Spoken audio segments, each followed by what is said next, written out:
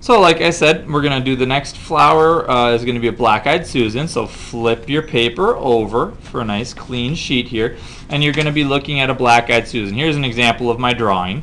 Okay, and here's an example of that photograph um, of another artist. So here's that kind of gumdrop shape center with the petals overlapping coming out the side. So what we're going to do is we're going to start um, by writing the name down and you're going to write black eyed Susan. And it's called a black-eyed Susan because the center gumdrop shape is you know nearly black. It's like super duper dark brown. So what you're going to do is you're going to start with a gumdrop shape. It's a straight line on a little bit of a diagonal and then a rounded curve over the top like that. Okay, now we're going to leave that for the moment. We'll color it in in a second.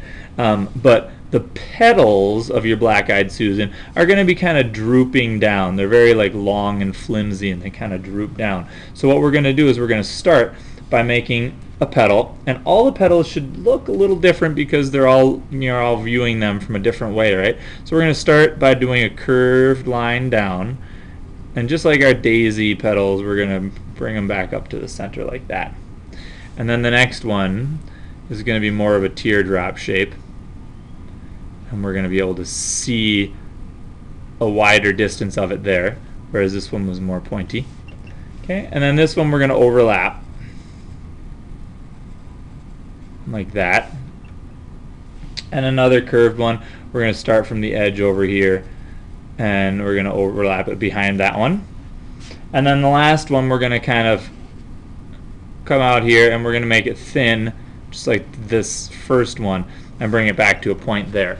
So it looks like you know it's hanging down and we're only seeing it kind of from the side. Then we're going to put on a stem.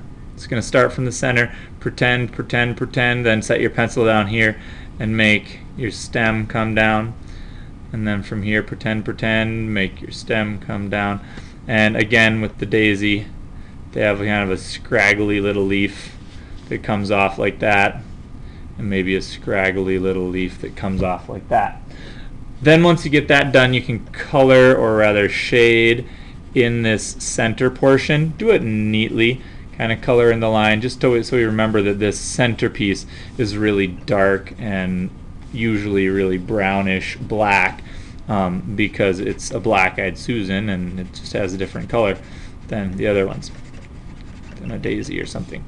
Okay, um, if you need to make any mistakes, just grab your eraser and erase it so it's nice, nice and neat. So there's our black-eyed Susan.